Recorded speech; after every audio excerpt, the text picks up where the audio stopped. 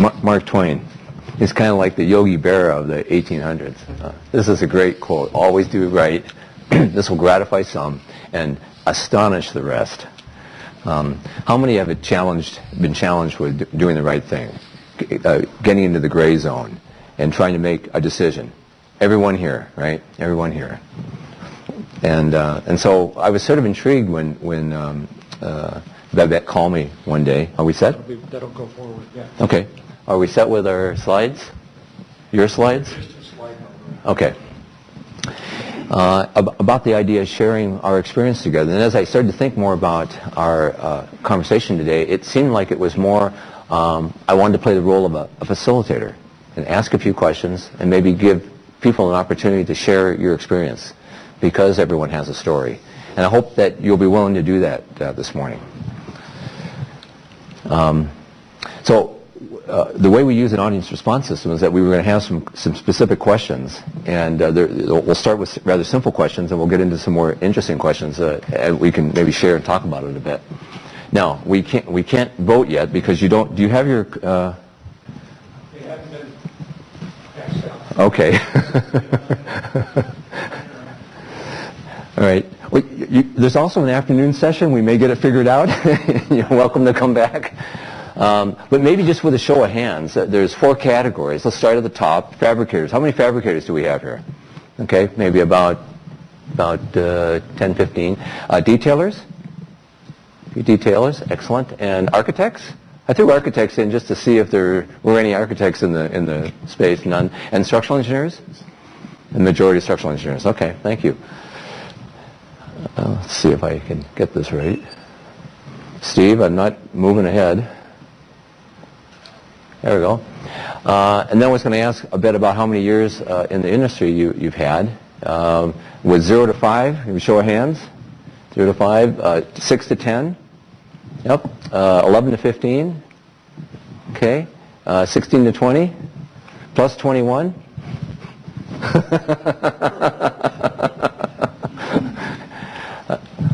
And so what would it, it done, it would give us some percentages, and we can kind of understand our demographics for this morning. Um, and then just tell us where you're from. Uh, northeast, New York, uh, northeast part of the country, okay. Southeast, a couple hands. Uh, Midwest, yeah, Minnesota, Minnesota. Uh, South Central, Texas.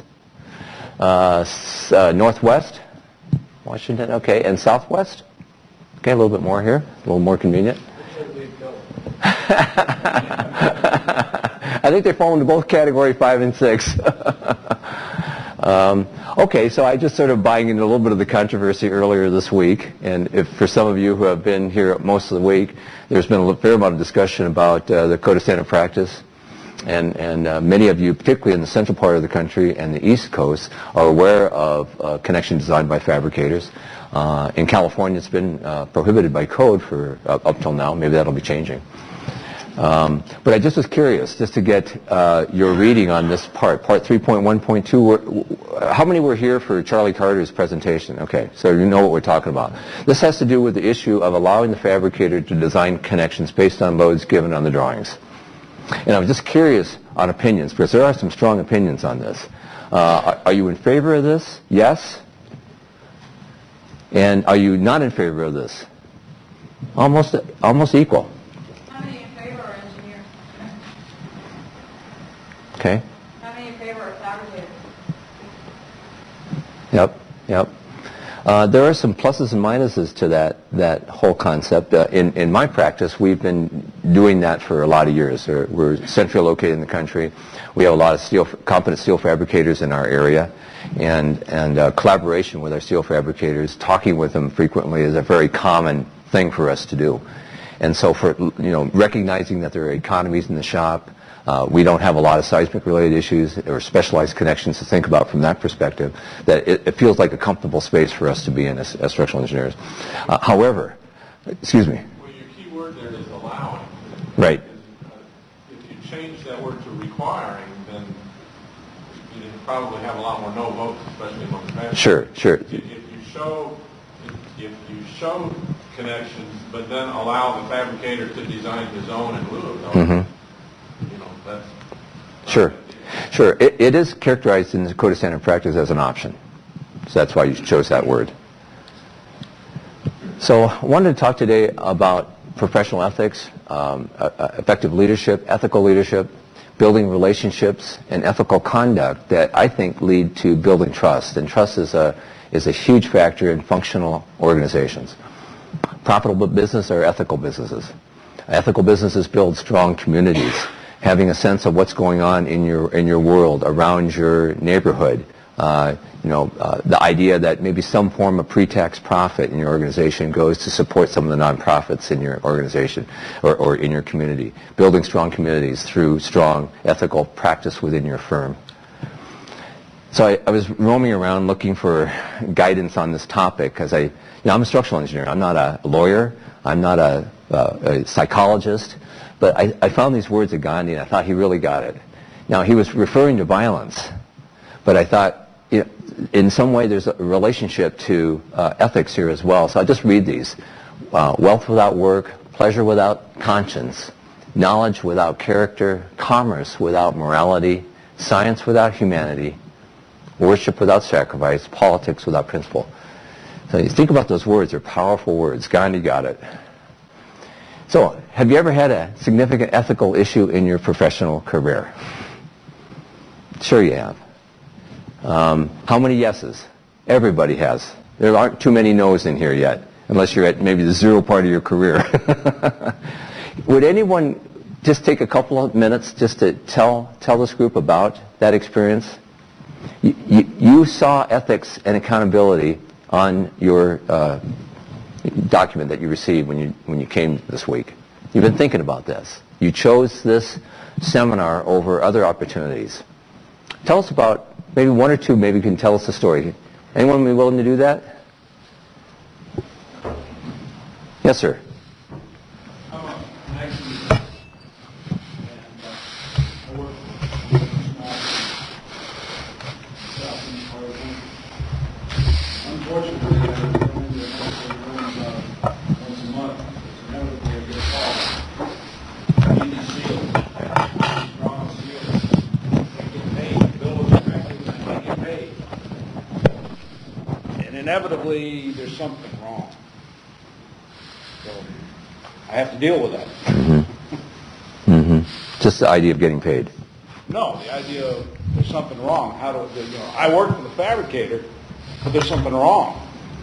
Do I just say, it's not that wrong, and sign off on it? mm-hmm. Or do I force the issue, piss off the fabricator and never get another job from him, which, you know, if that happens, it happens. Because then I also don't get paid, which doesn't help. hmm Thoughts on that dilemma? We're in that same business, and Yep. it comes up all the time, and this is the first answer out of my mouth when I think about it, what do you want me to do when I find something wrong? hmm Because I want that up front. Mhm. You want me to tell you how to fix it, you want me to report it, you know, where do we go? Mhm. And then how will we get compensated? hmm And that's the only way through it, is full disclosure, and, and, uh, yeah. You're right, you can't sign off on it if you don't believe it works. Right, right. Everyone agree with that? Everyone else, uh, anyone else, any other stories? Yeah, that issue happens daily with structural engineers, office on the structural engineer. You'll always get fabricator, contractor, someone calling you with a set of drawings that someone else produced, or whatever, they want you to stamp it. Right. Uh, That's always an ethical issue. Uh, You know, I do have a comment before you you go on about uh, being a registered professional structural engineer, or or a professional engineer, structural engineer. Uh, Every state has ethical Right. and moral clauses Right. that you swear to. Right. when You become the engineer. We'll get into that.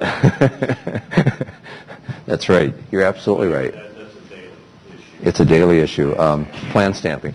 We don't see it so much in, anymore, um, but most states have plan stamping, uh, huge prohibitions against that. Um, we have a saying that came from our secretary of the board uh, in Minnesota a number of years ago where he described just real simply, he who designs or she who designs signs. But that's, that's a pretty straightforward one, but I'm sure a lot of people are challenged by that dilemma. Does everyone understand that plan stamping issue? Well, thanks for sharing those. Especially in this economy. Yes, right, right. Uh, the challenges, the, the ethical challenges become a little higher, as Babette mentioned earlier in her opening remarks. Uh, have you ever had a significant ethical issue in your professional career? We talked about that, and, and uh, are we, we're still not quite there. Um, so I did a little research, and we found there's a number of studies that have been done. Uh, this one was uh, performed by the uh, Ethics uh, Center. Uh, and there, there are some observations that I just threw on the slides here, and we'll just kind of share those with you. Misconduct in companies is very high. More than half of employees see misconduct on probably a fairly regular basis. Employees are fearful of retaliation and skeptical that their report will make a difference. Does that resonate with anyone here? Have you ever reported something to a supervisor and, and, uh, and then nothing happened? You ever had that experience? Yeah, one person. Um, that, uh, this goes to a whole, the whole issue of strong ethical culture, an ethical culture that promotes what you might even call dissent. The idea that as, as a leader of my firm, I want that woman over there to let me know if she's feeling uncomfortable with something, whether it's in the office or on the job site. And that, my friends, is a pencil dropping, phone putting down type of message to me. I, I want a very strong, uh, I, I, send a very strong message to my employees that I don't, I, there's zero tolerance for that type of, of, of, of uh, experience that anyone might have that makes them feel uncomfortable or unsafe in their work environment. Employees are fearful of retaliation and skeptical that the report will make a difference. Do you agree with this statement? Just a show of hands. Yep, yep. Um, in, uh, further on in the survey, the, the quality of your ethics and compliance program matters. Ethics and compliance programs yield positive results if they are well implemented. How many here work for companies with ethics programs at all, or a code of ethics, or uh, an employee manual that deals with behavior-related issues? How many? Right. Um, it's updated every year, I presume. Uh, and is there a discussion about that? Do people in your firm, your leadership, talk about ethics on a regular basis? Or if it's, is it just a, a, manual that's handed to you at the beginning of the year and it's put in the drawer and no one talks about it? So I'm having a hard time answering that question without our slides here, but uh, give me a show of hands for those that really talk about ethics on a regular basis within your work environment. Couple, just a couple. Okay. Now, do we have uh, our, everyone has their deal? Okay. Excellent. Uh, coupling a strong ethical culture with a strong ethics and compliance program is the path to the greatest reduction of ethics risks. We'll talk a little bit about ethics risks. The reward to your company, employees, and stakeholders is significant and can be quantified. Okay, so here we'll practice with our new devices now. Uh, does your company have a written code of conduct? I mentioned it earlier. And if so, is, is it supported by senior management? Yes, we have a code. Yes, we have a code, but it's not supported. No, we don't have a code. Now let's see how this works. Give it one more two forward and that'll start the countdown clock. Okay. So this gives us a little timer, Steve, that, okay, everyone has to answer within that 10 seconds. Four seconds, the results will appear. Okay.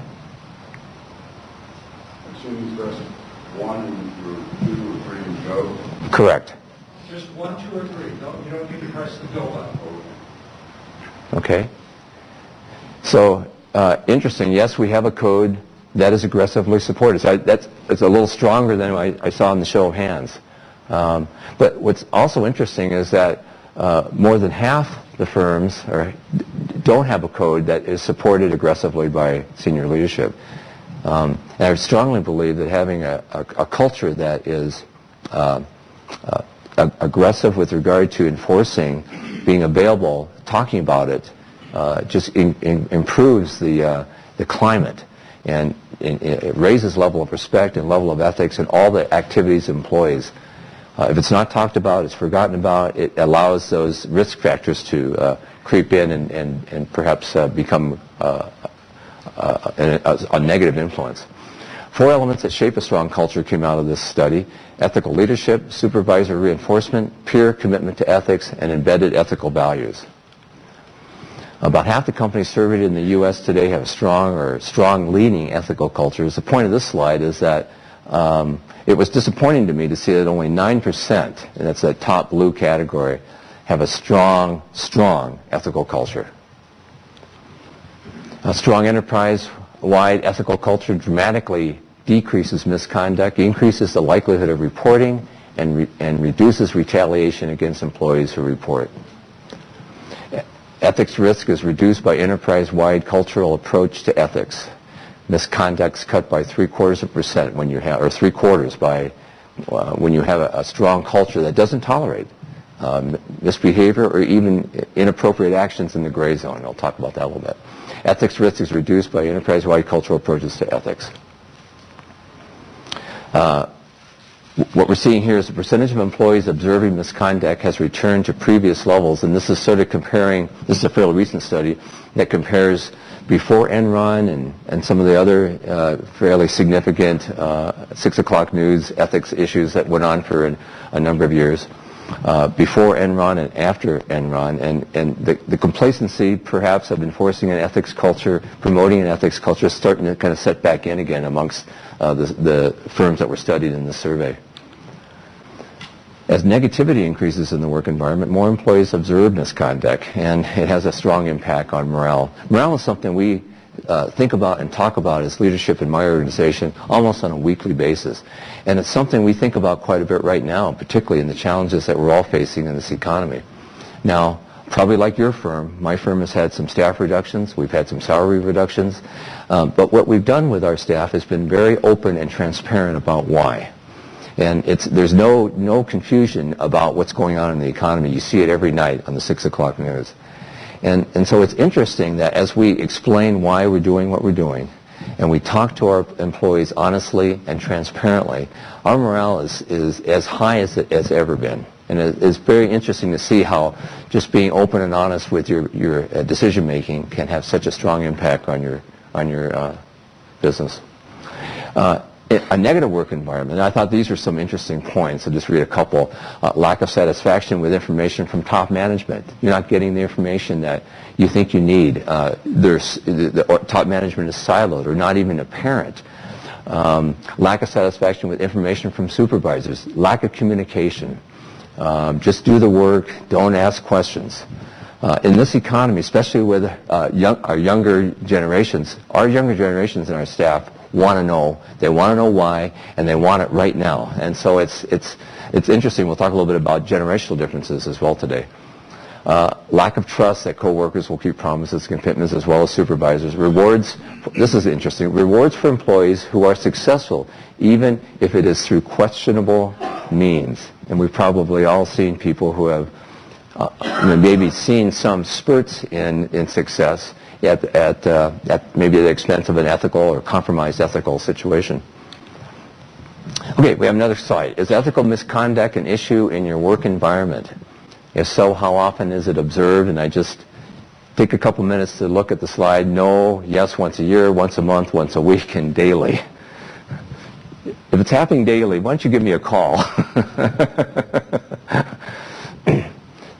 so I, I, I moved to the timer, okay?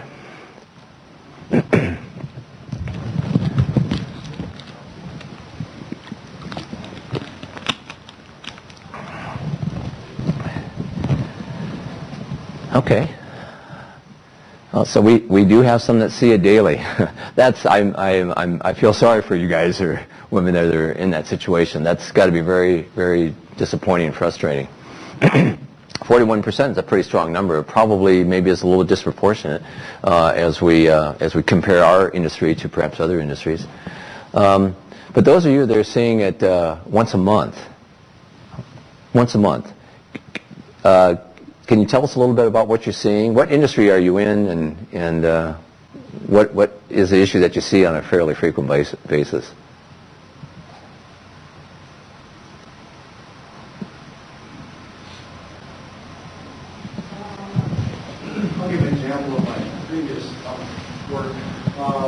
Structural engineer and you're going out doing inspections on a site, um, my background, I have a strong background in, in form steel along with the, post-tension concrete.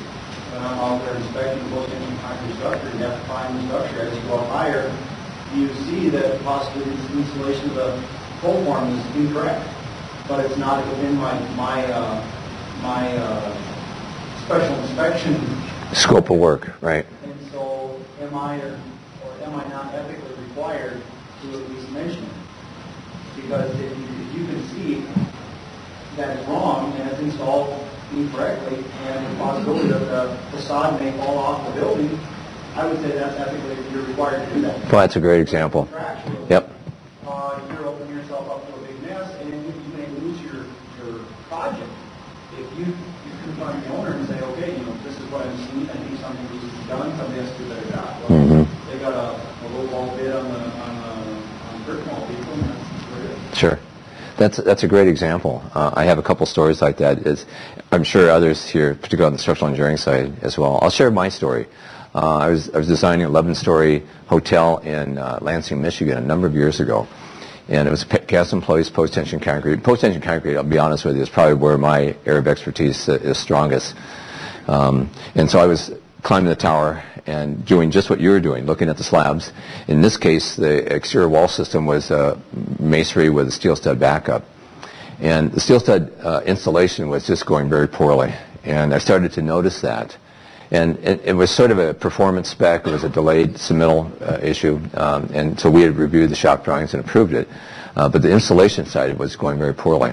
So I, uh, after finishing up my work on the post-tension slabs, I, I spent some time on the scaffolding, and I climbed the scaffold, and I took a lot of pictures and made a lot of notes. And then I, I went back to my office in Minneapolis and called my client and said, we have a problem and and I, I laid out the issues. Uh, I got everyone together, including the contractor, major major uh, national recognized general contractor, and we sat them down.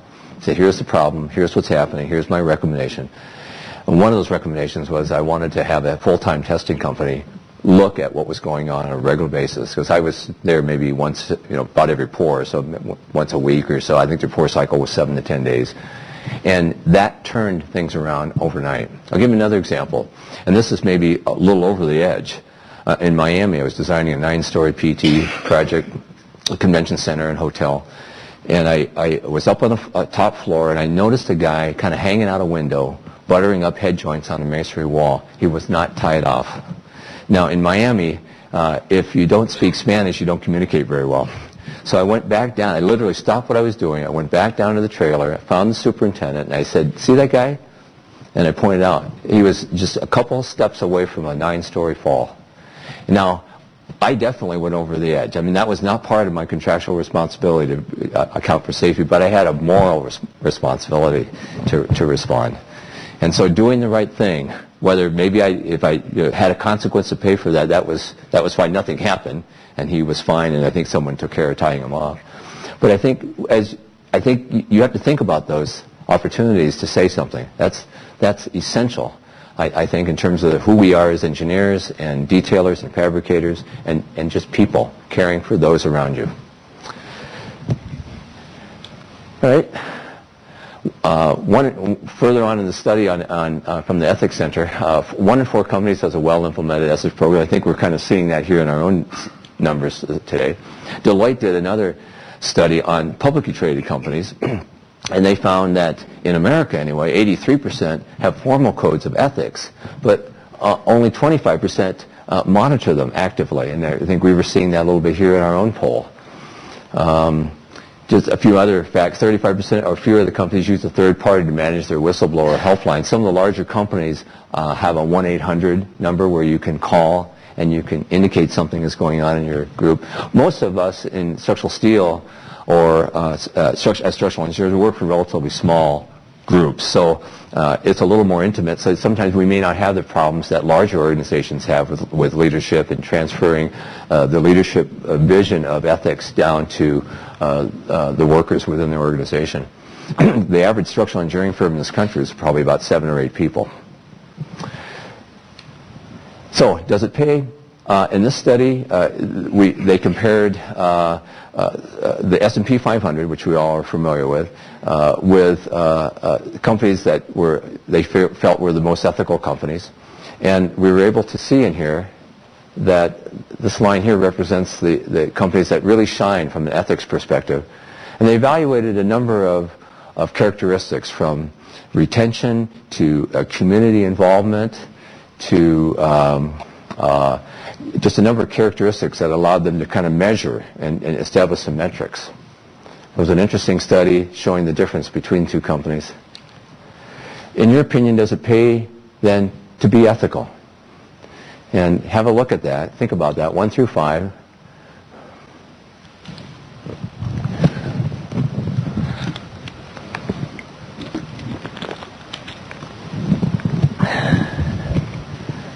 Strongly agree. Uh, I think that uh, I that's that that I, I, tend, tend- I very much agree with. Um, I think over the long haul, it's that sometimes you could see people take getting advantages in the short distance, but in the long haul, if your if your reputation is one of uh, ethical behavior, ethical response, ethical treatment of your clients and your colleagues, from a long-term perspective, uh, that will be um, definitely where you want to be from a from a profitability perspective, from an employment perspective. And so some of the firms that came out on the list that were um, uh, high ethics are recognizable brands in our country. Uh, business ethics varies by culture is another observation we, were, we came up with as we were putting our, our presentation together. In, in, in America, the words were e- equality and fairness. Uh, we have a lot of laws that govern uh, uh, equality and fairness. Uh, larger corporations spend a lot of money dealing with the whole issue of compliance, compliance checking, compliance testing, lawyers and actuaries and accountants. In the Middle East, uh, it's etiquette. I was doing some work for a district cooling company in the United Arab Emirates. Maybe some of you have worked in in the UAE or other other uh, Middle Eastern countries. And I was met uh, at the airport in the middle of the night when you arrive there uh, by uh, a colleague from the company, and he quickly told me there's a few basic rules you need to know. First of all, as a man, you don't get into an elevator when there's only women in the elevator. Number two, you don't show the bottoms of your shoes to anybody.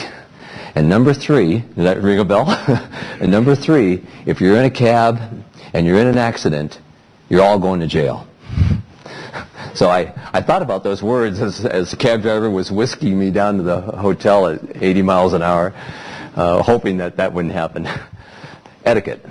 In, uh, in, in, the, in, other areas, uh, in, the, in Japan, loyalty to the company, a friend of mine uh, used to uh, do a lot of electronics business in the early 80s on the Pacific Rim from his location in San Francisco. And he, he told me regularly that it was very difficult to develop re- business relationships, and it just took time in the, on the Pacific Rim. He was working in South Korea at the time to develop trust and relationships that were reliable. And it, it took a long time to develop the level of business he was looking for there. In Europe, we talk about morality. So have you experienced ethical dilemmas based on working with different cultures? Some of you, I think there was some nodding of heads when I mentioned the Middle East. Uh, take a couple minutes to just, uh, or a couple seconds to throw your number down.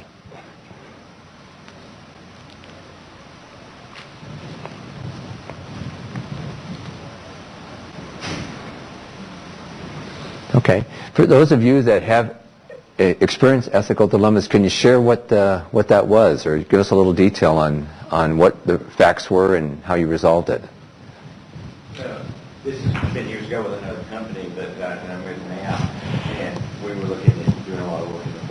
Right. And they basically have a agent system that we consider bribery and stuff. Mhm. And our company decided back totally out of the market. Yeah, yeah, yeah. Exactly. That's fairly common outside this country. Anyone else uh, experience that you could share with us? Okay. Um, so just a slide kind of summarizing what we talked about. 80% of the U.S. companies' code of conduct. Codes of conduct are based primarily on U.S. legal requirements. Compliance again. We have to do it. The Sarbanes-Oxley that was legislation that came out of the, the whole Enron crisis and debacle uh, created requirements for companies to report. You, you, you know, they, they were trying to level the playing field perhaps for, for ethical companies. Um, I, I sort of, as a business leader, I sort of chafe a little bit at, at rules and regulations that require me to do the right thing. I don't need a lawyer or the law to figure out how to do the right thing, but it's there. Well, it's the whole idea. Is engineering an old profession like it was 100 years ago? Yep. And I mean, we are professionals, we are, we are, are, are we treated as technicians? right. You know, and, and I still believe that engineering is a noble profession.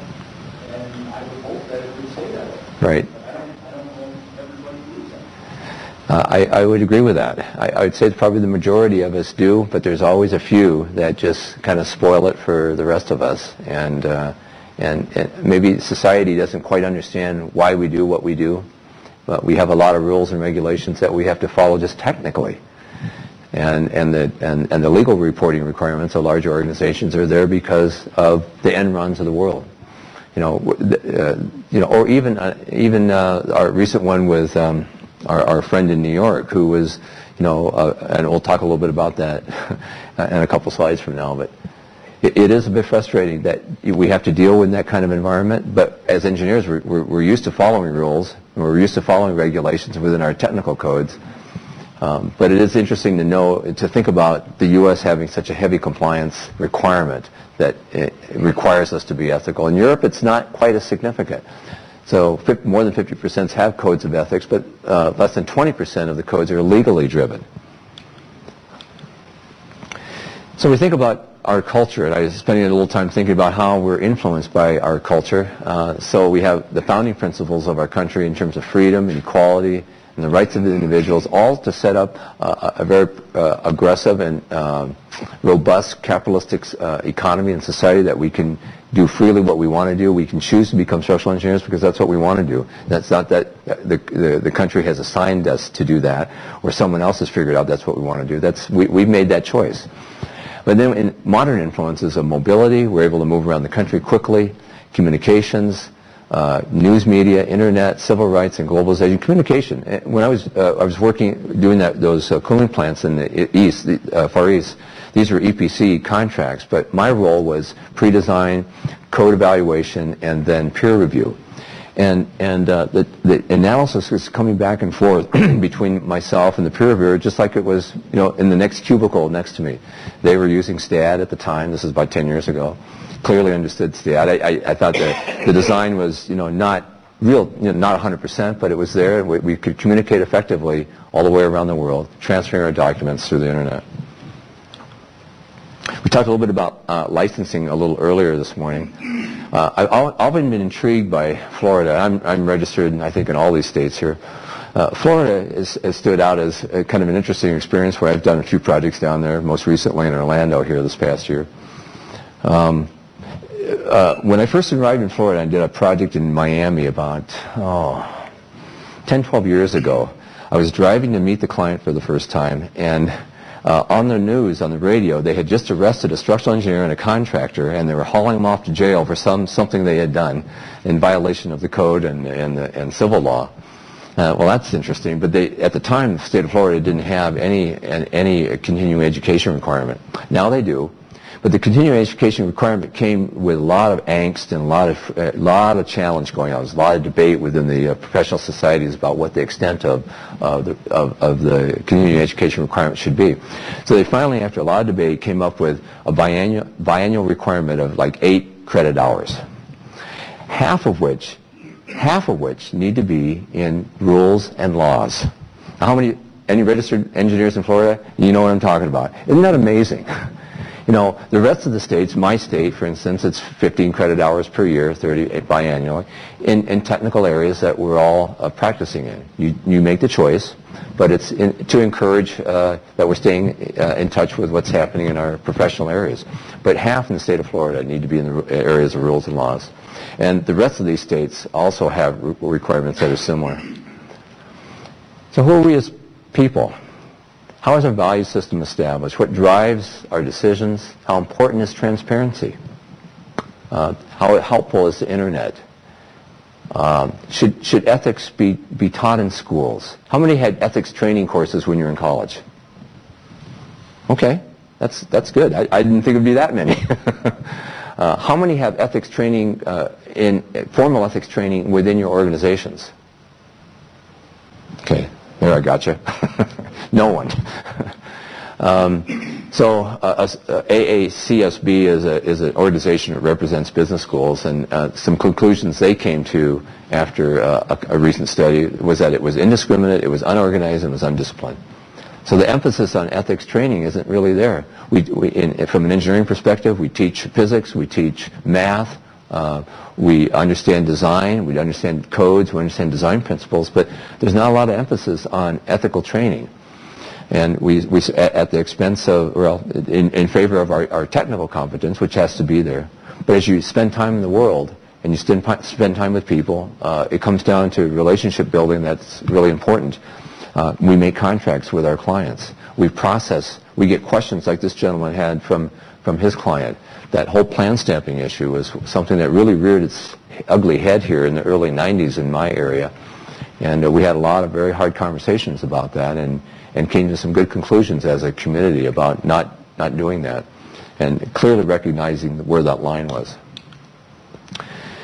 So have you had formal ethics training either in school or on the job? I'll, we'll have you just answer your question here that I just asked. I, I went to college in the in the 1970s, and there was absolutely no reference to uh, ethics in that at that time. So yes, we had 29% in school, 58%, or more more than half, have had no. Just my experience as well, no no ethics training. Uh, did you notice a difference, different understanding of ethics with new associates, people that come into your organization? Do you see any difference between uh, your organization and people coming in? And maybe that's a little di more difficult question to answer, but give me your thoughts on that.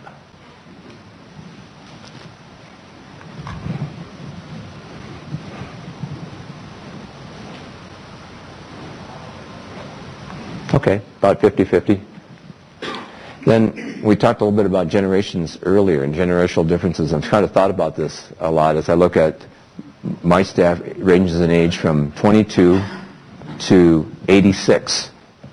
There's a lot of generations. We've got four of the five generations of, that are alive today within my organization. Uh, do you notice a difference in understanding of ethics between generations? See how that compares to our earlier answer, previous question.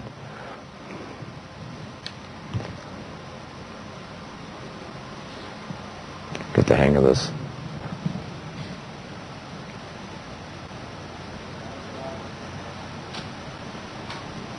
Okay. That's interesting, isn't it?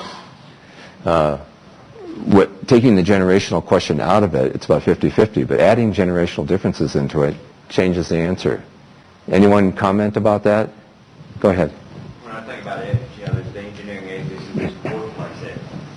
And we really struggle a lot with new employees coming up, young employees, and all the electronic devices and just good work ethics and not, you know. Sure. Dealing with that, Sure, sure. How do you, how do you, go ahead, sir, sorry.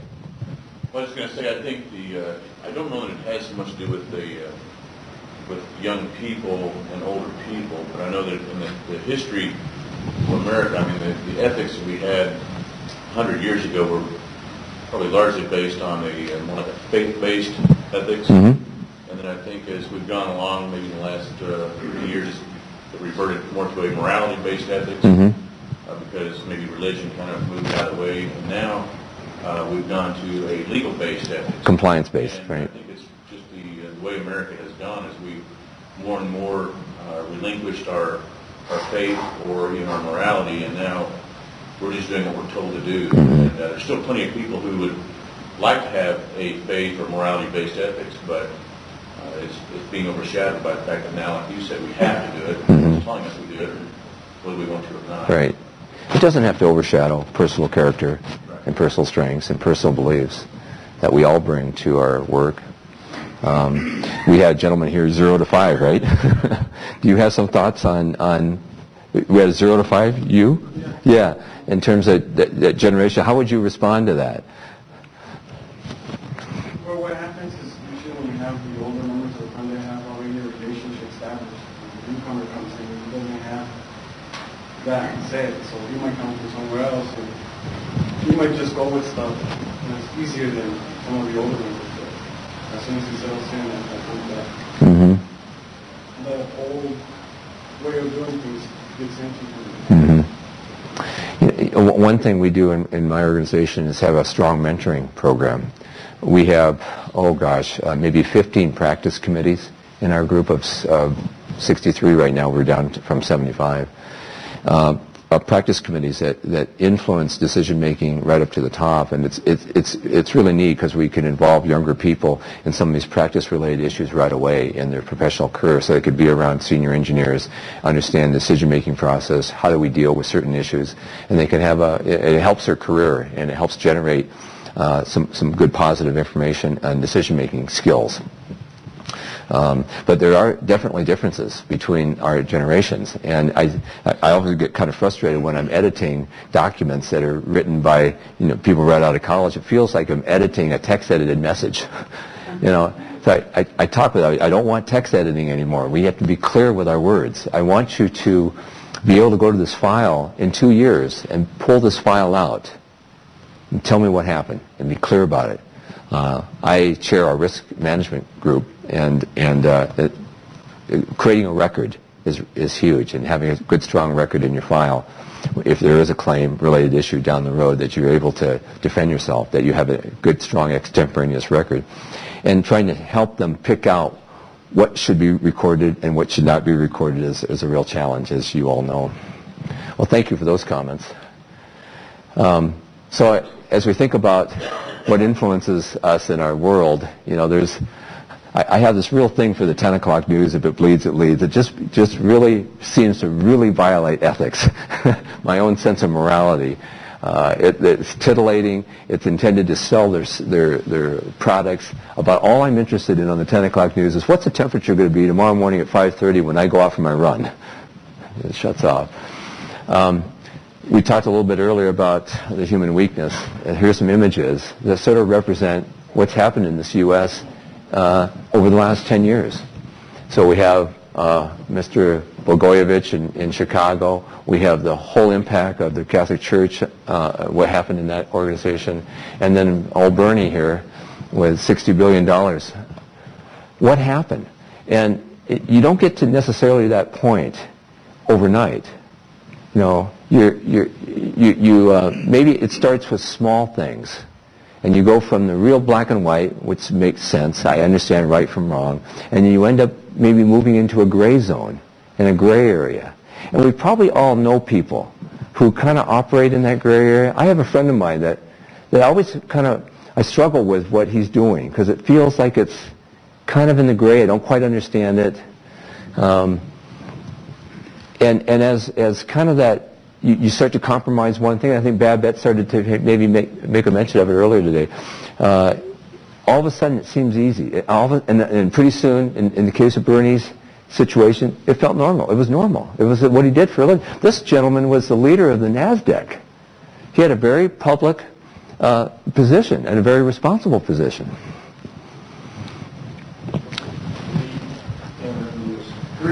Sure, sure.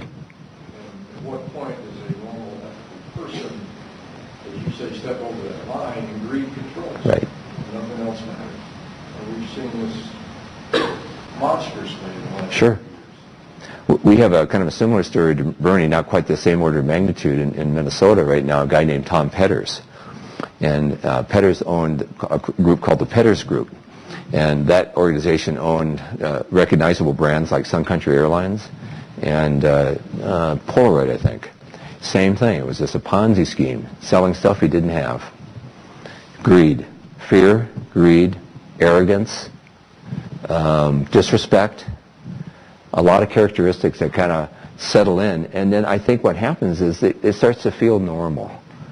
You know, my experience of feeling normal is that, you know, if I leave the office before 6.30 or 7 o'clock at night, it feels a, a little unnormal. My, my day has creeped longer and longer over the last three decades I've been doing this business. And I, don't, I, I just feel so uncomfortable when I leave at 5 o'clock like a normal person. Uh, where do we come from and, and, and what have we inherited from those who came before us? Uh, we talked a bit about mentoring, how we can share as, as senior engineers, senior detailers, and, and, and senior members of a fabrication organization with the younger people, our younger staff. How can we uh, be cognizant of the need to transfer uh, a set of uh, moral ethics uh, from one generation to another? How are we influenced by our experience and how are we resistant to change? Um, I was talking to Steve, our, our event planner here this morning, about an organizational change that happened for him. Uh, they were changing technology within their organization, and, and Steve was a senior guy saying to the junior people, we have to make some changes. And I thought your comment, Steve, was interesting, is that what's wrong with this picture? I'm the one that wants to change. I'm however old you were at the time, 45, and everyone else in this organization in their 20s say, no, we're, we're comfortable with this technology. Change is important. How are we resistant to change, and how does that impact ethical decisions that we make? Uh, Charles Taylor is a famous author, uh, authored a book called The Ethics of Authenticity, and I thought just a couple comments that caught my attention here about, you know, uh, uh, situational ethics. Uh, cultural relativism taken to uh, extreme is moral anarchy. The strong words, interesting words to think about. And the two uh, comments at the lower part of the slide, two intertwined bad ideas, that you are wonderful just because you are you. How, how contemporary is that thinking? and, and then secondly, that, the, that respect for difference, and think about this, respect for difference requires you to respect every human being and every human culture, no matter how vicious or stupid. Those words just kind of resonated with me as I thought about my own experience as an engineer and, and, and a businessman. Description of someone disrespectful. yeah, exactly. okay, does the end ever justify the means?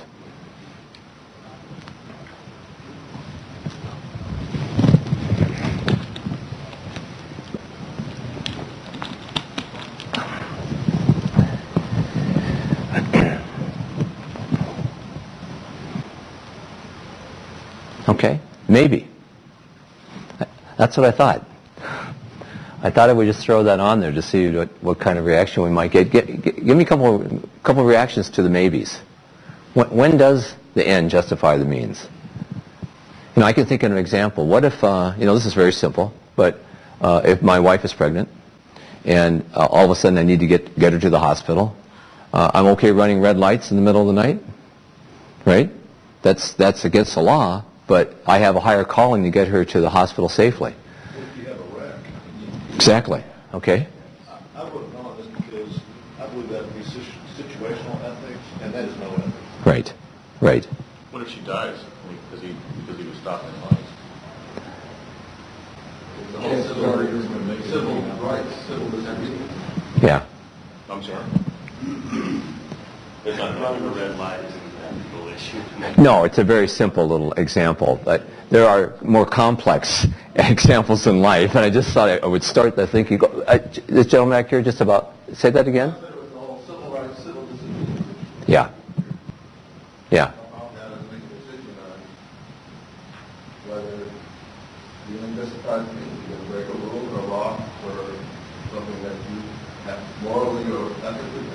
Sure.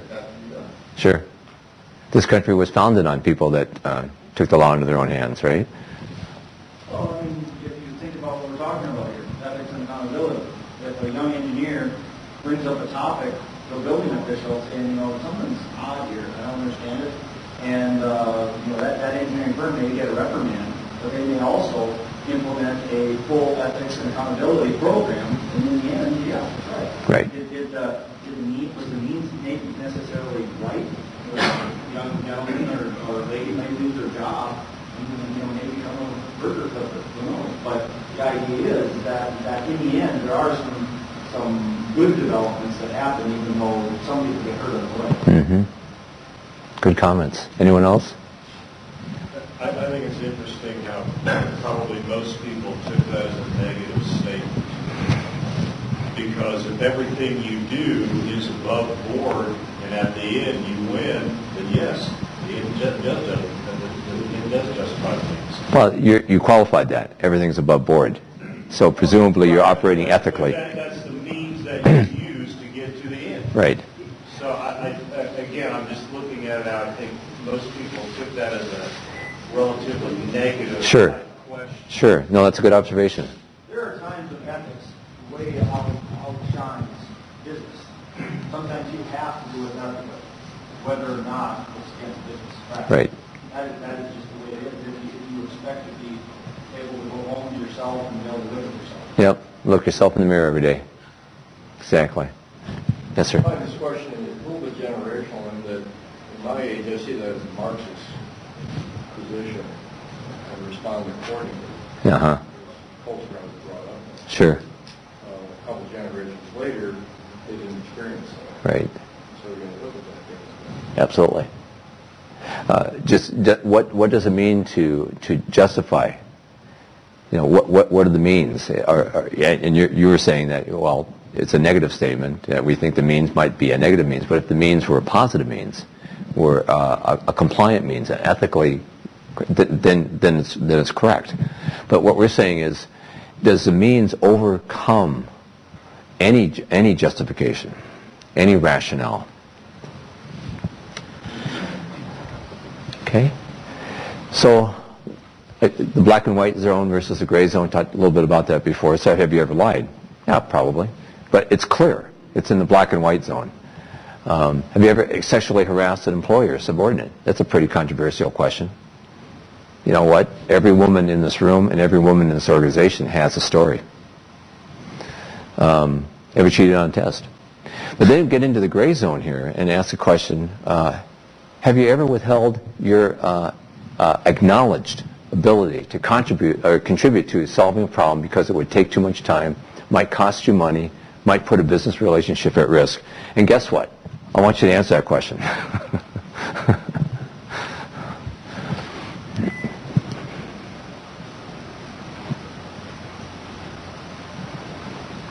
and let's let's let's talk about that question.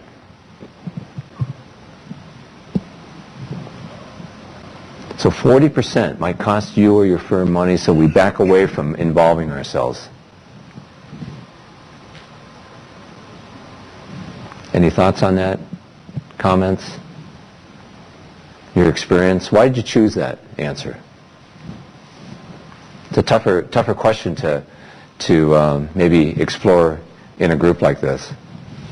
You know, you guys do schools up there in, uh, up there in Minneapolis area. In the tundra, on the tundra? When you're, when you're, uh, when you're designing a school and, and uh, the architect has an architectural feature out front, uh, some monster canopy that they want to do, and they, they start going through sketches.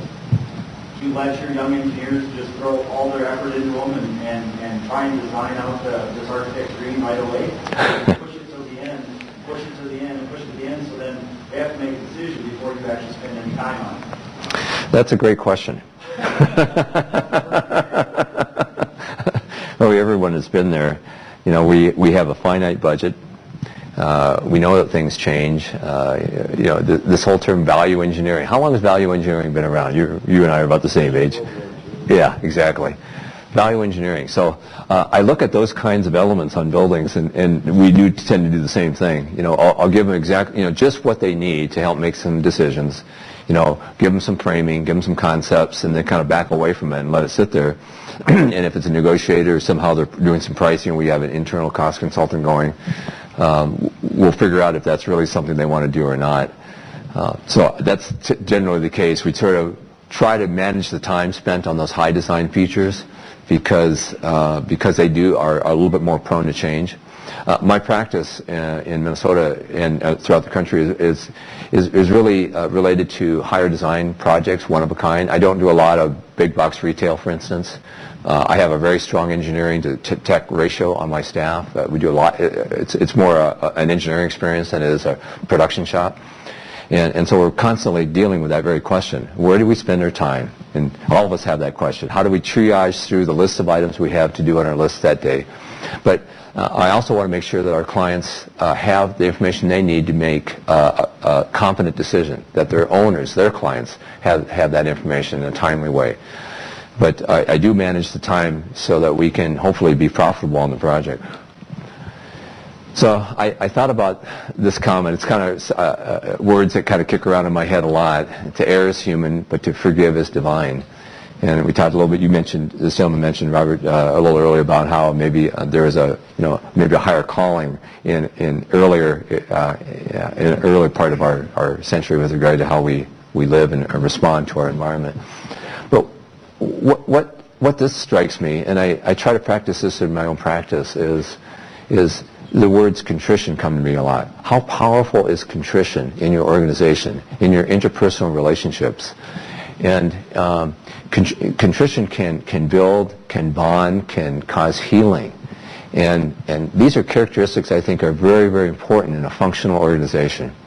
Uh, in my office in Minneapolis, we have about 50 people, men and women. All we do is uh, structural engineering. And no one's perfect. And, and uh, uh, my office manager will tell you that I am very high maintenance because uh, I'm, I'm very demanding and I want things, I want them now, and sometimes I go over the line. And a number of years ago, I asked her to help me manage myself. and, and so uh, we had the red star, gold star deal.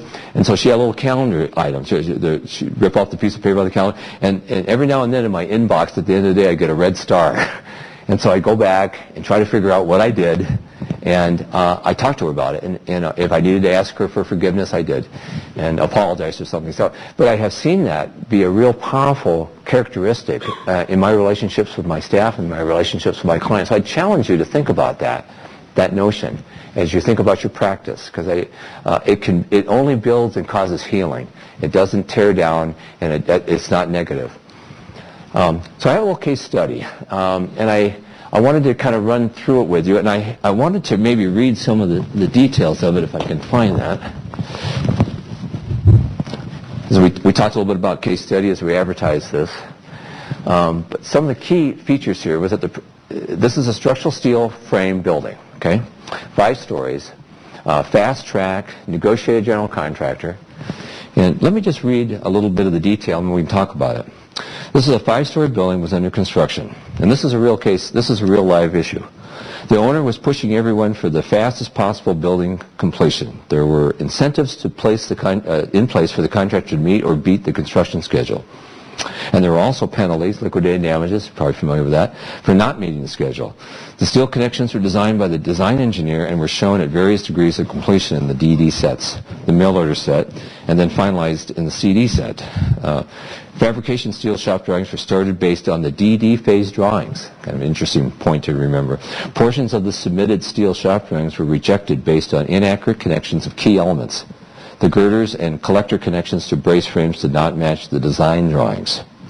A design engineer from the Engineer Records Office visited the site and found that construction had advanced based on the unapproved shop drawings and that the connections that were rejected had been installed as shown on the rejected shop drawings. At the expense of the AE firm, the design engineer proceeded to evaluate the existing connections for the design loads. The connections were found to be well under design on order of 40 to 50 percent. The evaluation was based on taking uh, as much conservatism as possible out by using as many reductions as allowed by code. The existing connections could not be justified by the design engineer.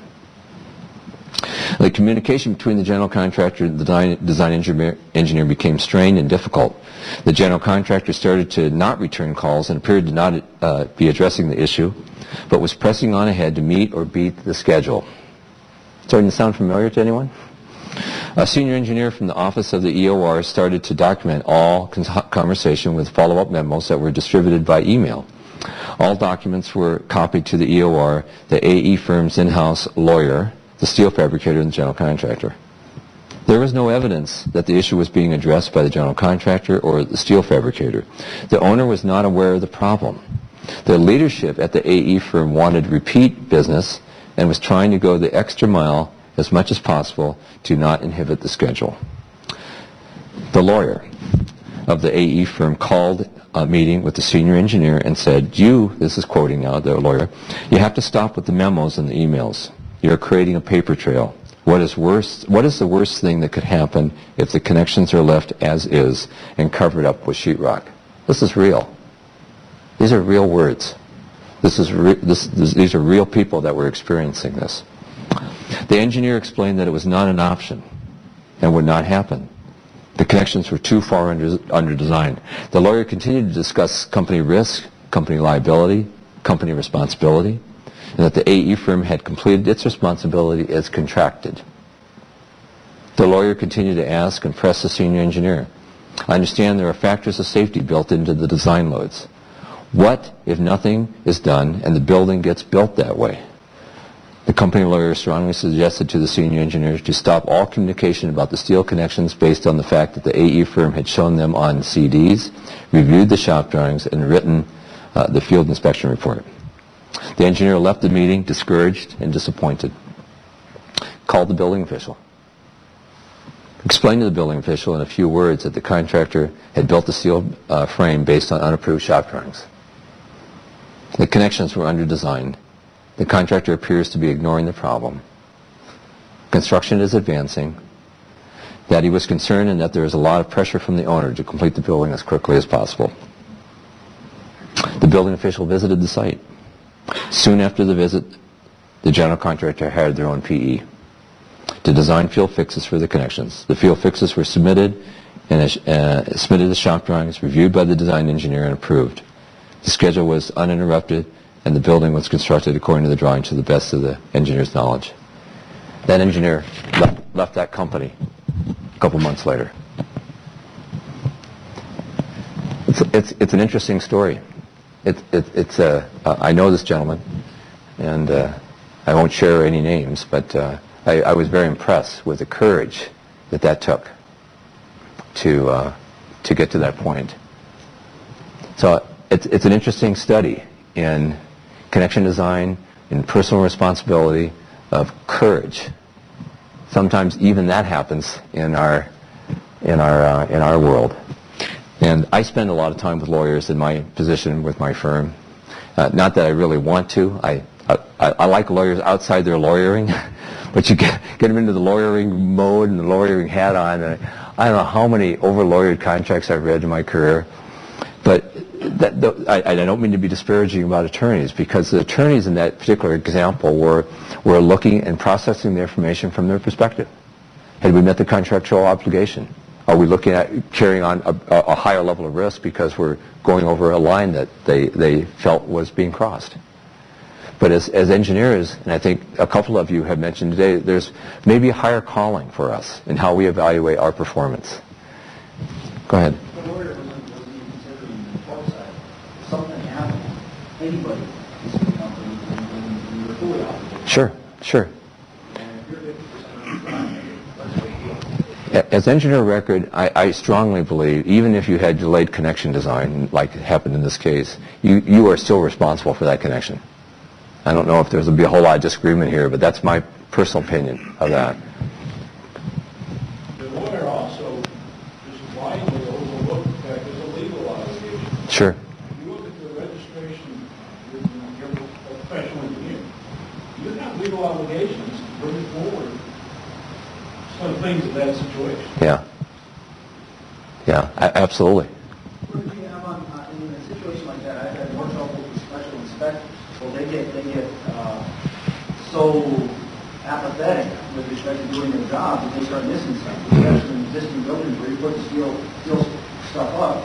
You know, the designer may design with, with, uh, high values that have to be fully inspected. And over time, you know, the get tired climbing up under the scaffolding and all of a sudden, you know, they're, they're putting up beams in two or three spots and you can't look at everyone. Well, I, I kind of trust this guy. I, I don't have to watch him all the time. But, you know, I have applications where I've been there and I've gone up and I've been able to turn those faster and pull them right out of the building. Mm-hmm. Because it's not, being but it's not under your contractual obligation, but you know that, that, that, that inspector isn't doing the job. What, what, how do you handle that? Uh, number one, I, I do not care for post-install connectors in tension. Anyone else agree with me here? no, exactly. Um, good, good observation. I, am sure all of us have had those kind of challenges. Uh, certainly finding and, and pre-qualifying uh, special inspectors is really important.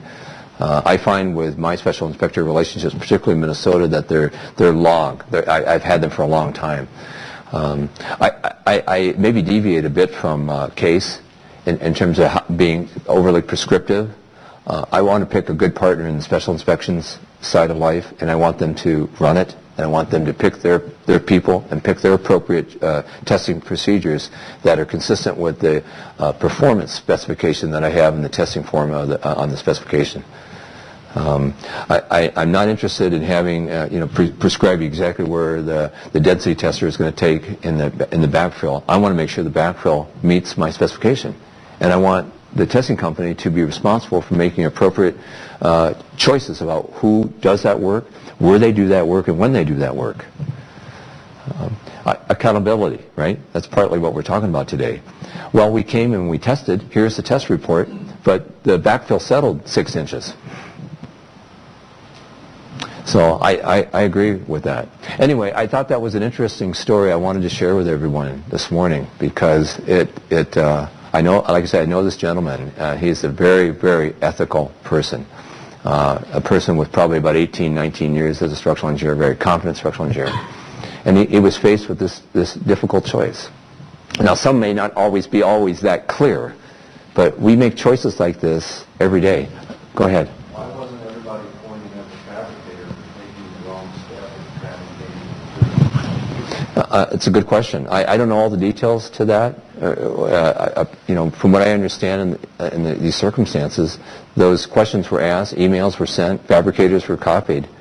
Um, but maybe the, the decision to, to meet a schedule and, and you know how we have all, as structural engineers and fabricators and detailers, been pushed hard by contractors, pushed real hard by contractors. Where uh, I, I, I, talk, I talk about contractors raising uh, schedule and, and, uh, and cost estimating to an art form. You know, that's their world. And, and it, it is very frustrating when you find that you know, you, you're not having enough time to do your work. And I'm a champion of those words, and I share that a lot with, on, on behalf of my staff. And periodically, and right now, I, I, used to spend a lot of time on the deck, if you know what, what I mean by that. A lot of time on construction sites. I, I don't anymore because I remember I had to spend the time with the lawyers. But periodically, when questions, issues get a little out of hand, I show up at a job site and I try to find out why and, and uh, provide some guidance in terms of thinking about you know spending having enough time to do our work, having enough time to review our shop drawings, and uh, provide a confidence level service. Go ahead. So when those connections were fixed, where did the money come from? Uh, uh, presumably the general contractor uh, paid for the services of of, uh, of the uh, engineer that he hired to reevaluate those connections, and the fabricator that provided the material and the erector that provided the work were paid for by the general contractor, as I understand it. So I understand there were no claims that came out of that process, and uh, I understand the contractor was also on time with completion of the project. There were liquidated damages. All of us know what liquidated damages are. Uh, somewhat of a, obviously a, a, disincentive for for failure, um, but but uh, those those kinds of uh, uh, features within the contract can can cause or, or place maybe too high an emphasis on on completion over safety, and that seemed like it kind of gripped this project for quite a while. Anyway, I'm sorry? That's a great question. Everyone hear the question? Can you consider liquidated damages as, a, as, as an ethical issue? Or it, we'll say your question again. Right. We have to live with the project for a lot of years, don't we, as structural engineers? In the state of Minnesota, uh, the statute of repose, the statute of, uh, uh, is, is on the order of 10 years plus two years for discovery. That's why I'm always encouraging our staff to have a good set of documents and a good record where folks like us, me, have to go back and look at it at a later time. Um, not that we have, you know, huge level of claims. We actually have a very, you know, we, we've been in business for 55 years. So you know, stayed in business for 55 years, a lot of claims, but uh, claims are a part of our lives, uh, everyone here, and, and it's a reality, and we have to have a good, competent record. And so doing the right thing, even if it, if it compromises the schedule, is, is what we need to do. And, and we certainly don't want to be in the position where we're in, in the line of fire for a claim because of delay. One thing we did, actually, I, I provided some expert witness work a number of years ago, uh, kind of related to um, uh, some forensic work I was doing. And I spent some time with my lawyer in that particular case, had, had spent a fair amount of time defending uh, a kind of unique case, one-of-a-time case in Minnesota re related to a design professional who was found uh, to have delayed the project due to you know, drawing review process. And so uh, learning about that, I, I instituted a, a, a, log into my own office. This goes back a couple decades. I'll write track every drawing that comes into my office for whatever project it is, and then my assistant uh, will issue a report every week to understand what the day is, you know, so she gets, you know, it's a large spreadsheet, and we make sure that we're responding. That, that could be the basis of a claim if we're not responding in a timely fashion. Make sure that you put reasonable amounts of time in your specification for review, so you do have time to do your work. And, and don't be too willing to accept something that's incomplete. To the extent that you can return a set of shop drawings that isn't complete because the detailer just was pounded to get it out because a schedule again and it wasn't complete, cycle it back. Be willing to take a, a bit of a risk, making sure that people are, are, are doing their work. Um, we, we culturally in our office, uh, especially with people we know, have had a tendency to try to uh, complete the shop drawing sometimes. Does that sound familiar? And, and I, I'm trying to move our group away from that, particularly on our higher profile, more complicated projects, because uh, we want to make sure that we're all doing our work and we have time to do our work and the, and the final shop drawing is, is, is, is complete and responsive to the contract documents. Anyway. I, I did a little bit of just research on kind of knowing ourselves and, and so kind of looking at a couple of approaches about operating philosophy. So kind of touch on moral compass uh, and goals and behavior. So um, there, maybe there were three categories that is sort of class, classified here: the pragmatic or the physical, and you might you know might relate it to a left brain, right brain. uh, we are left brainers mostly here in this room. We're analytical. We're problem solvers. Uh, and so uh, useful determines, uh, usefulness determines worth, measurement to determine value, and individualistic, maybe you can see yourself in some of those words. Competencies include self-management and seeking value. Uh, a, a, second category was intellectual or, or, thinking. Decisions are based on logic. This sounds a bit familiar like engineers. Reason and accepted benchmarks stresses uh, cognitive competencies uh, that include predictiveness and analyticalness. And then maybe uh, the right brain, which we all have, uh, you know, there's that, a, a little softer side of ourselves, creative, human feeling. Family and friends are more important than other relationships. Worth is measured by the impact on close relationships. Competencies that would include social awareness, relationship management, and, and, and loyalty. So, uh, I have a couple more questions here. Everyday ethics decisions. My desire to achieve financial results, are, are they so strong that I behave as if the end justifies the mean, means again? Take a couple minutes just to throw an, an answer on there.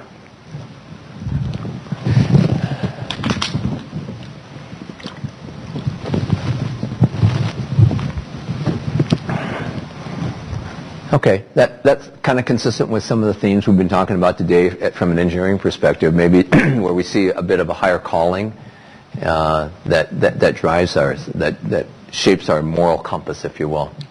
Second question, my desire for high performance leads me to lack compassion, say for a fellow employee whose family crisis takes him or her away from work at a critical time. Maybe that means that, that I have to do more work, or I have to spend more time, uh, more time uh, with less resources because of a personal relationship. How do we feel about that?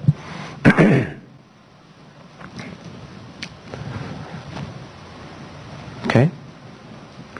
And uh, final question here. Oops.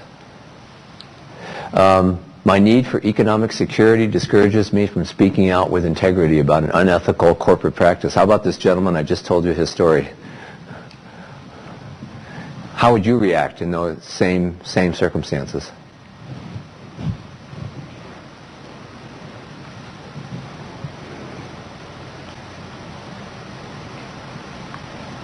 Excellent.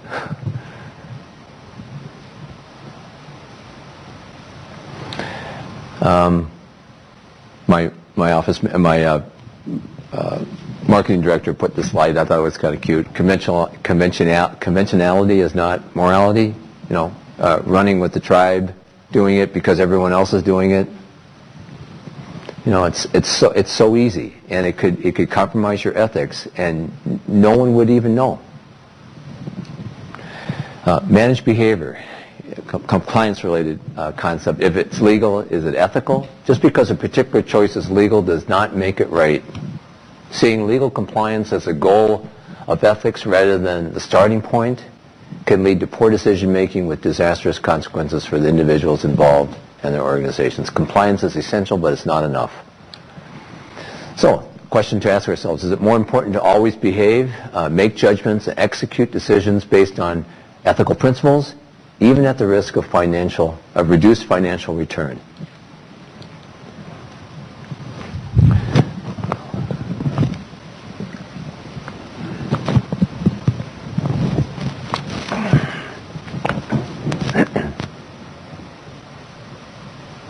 Excellent. But there's some maybes in there. Uh, question to ask ourselves, do we, do we regularly endorse and promote the basic principles of ethical behavior embodied in the organization? Do we think about it? Do we, do we allow it to kind of weave into our thinking about behaviors or decisions that we need to make on a daily basis? Good. Um, so we talk about making business decisions, and, and sort of three key words kind of appear to me, you know, and, and call them transparency, effective, and, and fairness. So can you ask yourself, as you make a decision, um, from the transparency, and I shared with you a little bit about our transparency in terms of our, our, our own corporate culture, do I and others knowing what I have decided? You know, are you open, is your email open to everybody? Uh, what effect does it have? Does, it, does, does my decision affect or hurt anyone in my organization? How, how fair is this? Would my decision be considered fair by those affected by it? Um, Stephen Covey. Anyone heard of Stephen Covey? Wrote, wrote a new book. Maybe some of you read it, Speed of Trust. I was, I was really taken by some of the words that uh, Covey uses. Uh, one of the areas of, uh, that we're exploring as a new practice uh, characteristic of our firm is integrated practice, integrated project delivery. Some of you have heard of that. There's been some discussion about that this week. Uh, some of you may have descend, uh, attended e-construction on Tuesday. Uh, it was really an excellent presentation by a number of people who credit the state of the art where that's at. But you know what? E-construction and integrated project delivery require significant investments in trust. So I, I, was impressed with some of the words that are, are used here in, in Covey's uh, presentation. Trusting relationships are built on ethical behavior, and they have the same kind of words that we've been talking about today. Uh, transparency, uh, that kind of culture rights wrongs, doesn't let them sit there. It takes action to correct. Uh, delivers results. You're reliable. Uh, confronts reality. We're not delusional. Uh, if it takes 10 days to do this, let's make sure we get 10 days to do our work, to do it right. Uh, is accountable. That, that we are accountable for our actions, for, the, for our activities. That if there is a problem, that we correct it. Uh, thinking about uh, an earlier document created, uh, written by a gentleman named Tom Peters. Uh, the book is called, I'm thinking of is called In Search of Excellence. The early 1980s and he talks about solving, problem solving at the level that is created at. Integrated project delivery has similar characteristics. We're trying to borrow from what's been successfully used in manufacturing for years and bring it into our industry and try to capture some, some of the, if, if uh, try to lose some of the inefficiencies in our industry that cost billions of dollars. Uh, and it's reliable that, you, that what you say you will do, you will do. Trust saves time. Trust saves money. Uh, Covey uses the example of going to the airport before 911. Go to the airport before 911. You, you arrive a half an hour early, just zip right through, and you're at your gate. Today, what, what is it? It's an hour and a half because uh, of trust. We don't know who's, who's traveling with us. And so we have to verify. That, that costs if you think about uh, the speed of trust in, in, our own relationships, these are some these are some powerful words and some powerful concepts. I'd encourage you to get the book and, and, and, and read it. So what can companies do? Ethical behavior starts at the top. I strongly believe that personally in my own practice. Build and maintain trust, ensuring the integrity of professional responsibilities, ethical role modeling, mentoring, uh, from the leadership, respect, that, that, that can be seen and is clearly demonstrated by the leadership of your organization. Uh, build consensus and, and, and demonstrate integrity. Clarity of mission, no hidden agendas. Uh, zero tolerance for certain behaviors, and I mentioned the kind of behaviors that I would drop my pencil, turn my uh, phone off, get up, and take action right away. zero tolerance. Corporate code of ethics. Uh, establish a framework for business decisions, uh, uh, making that uh, making that integrates ethics. Uh, that make integrates ethics. Sorry. Encourage pushback. Develop a culture of dissent. Encourage people to come to you and say, "I'm having a problem."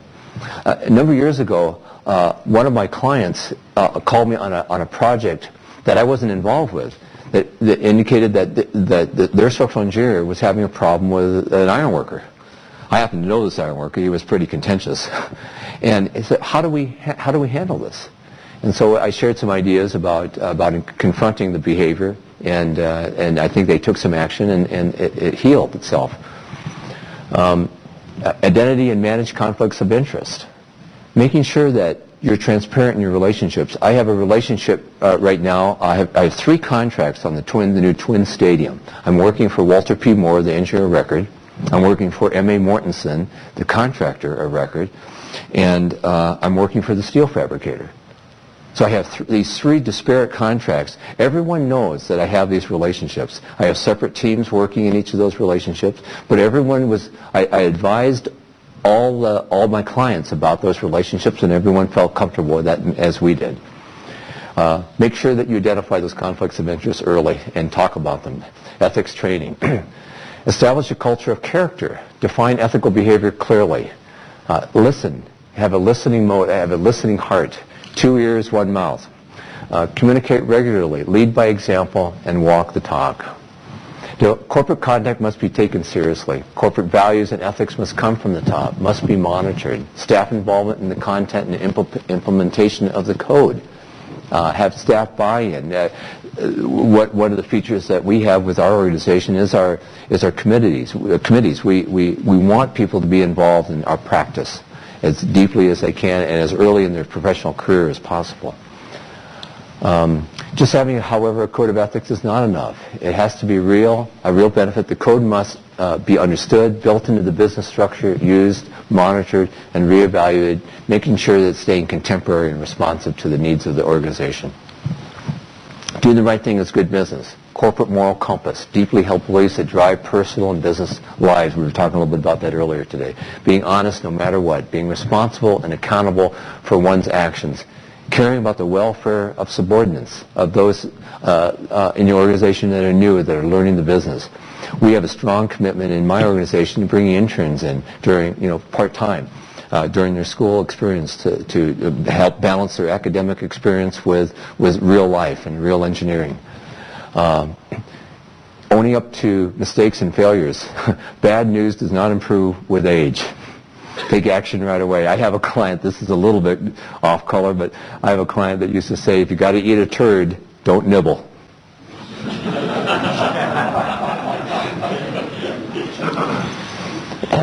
Doing the right thing is good business. Start discussing ethical issues in the work environment. Uh, and make the case for fair trade coffee. Uh, uh, just a brief comment that that con that consumers can influence ethical behavior by the way by their buying patterns, and this is a great example. Uh, so basic ethical principles. This came from a presentation, a European presentation I came across uh, recently. Uh, it's strenuous. It, it, it, uh, it, values trust. It's curious. It has ambition. It's fr it's frugal and loyal and prudent and correct, punctual and, cl and clear, clarity of speech, strong sense of vision and entrepreneurship. Uh, this is somewhat historic. Codes of ethics have been around for quite a while. Uh, there's some neat comments in here, loyalty to the country, uh, uh, avoid misleading statements, disclosure of possible biases. This is, this is uh, earlier part of the century. So some of the words are still contemporary. The thoughts are contemporary, the words are a little bit dated. Be fair in professional advancement. Am I doing here? And then the final, final slide on, on, this is from the 1954 National Society of Professional Engineers, Engineers Creed. I'll just read this, as the words are really, really cool.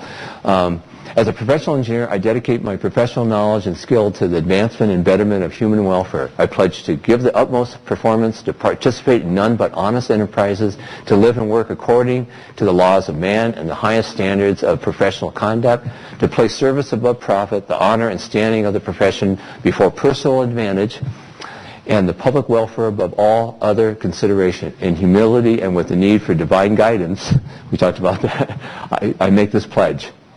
Those are powerful words. Uh, they're a little dated, but the thought and the uh, impact is very contemporary. So that's it's 9:30. Uh, thank you all for your participation and interest in this topic. I really do wish you the best in your organizations and your professional careers. Take a few of these points, take them back with you, make some changes, have an influence in your organization. Uh, uh, strive for a functional, honest uh, relationships in your in your professional career that that uh, will bring value to you and those around you. Thank you very much. Can I get everybody just to answer these first three questions, please?